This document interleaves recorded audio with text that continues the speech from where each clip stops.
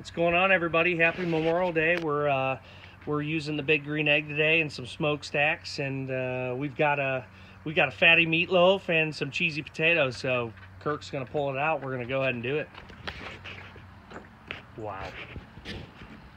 So we got uh, that's about a four or five pound meatloaf. About five and a half. About five and a half pounds meatloaf wrapped in bacon in the Smoke Staxx pans.